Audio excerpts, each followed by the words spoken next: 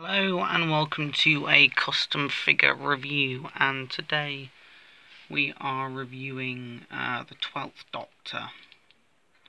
I guess you can call it the Monk Trilogy. This is just a custom version of Peter Capaldi's Doctor that I made set within series 10.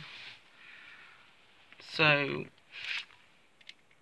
not much has really improved so I uh, first of all removed Capaldi's head, then got Rory Williams's shirt, and then I painted it red. It actually looks like he's shining. Um, and as you can see, my painting attempts have not been successful in the past. Because you can see red on his boots and on his hand, so this hand looks like he's bleeding.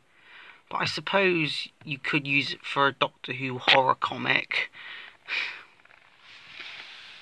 but, um, I always thought Capaldi would fit red more than anything, any other colour. You know, and, um, I thought this outfit was very Capaldi. Originally I was going to have the shirt tucked in. I also had to make a few modifications. So I glued Rory's shirt on. So I had to glue Rory's shirt onto the Capaldi torso. Then use the wooden pop method to remove Capaldi's head. Then put his head back on. And a lot of painting and it's easy to remove. I don't think I should remove it. But you can see... Uh,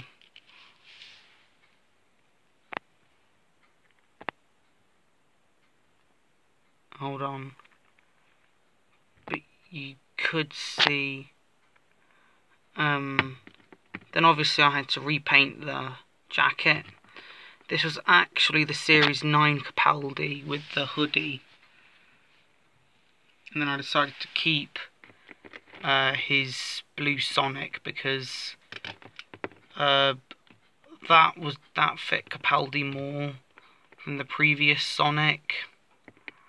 I think the previous Sonic was more Matt Smith than Capaldi.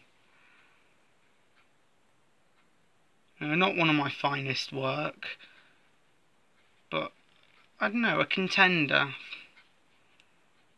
you know, I'm not experienced with Doctor Who figures. Um, yeah. I'll just have a 360. So nothing much really has improved. Um, yeah. Thank you all for watching. I'll see you in the next video.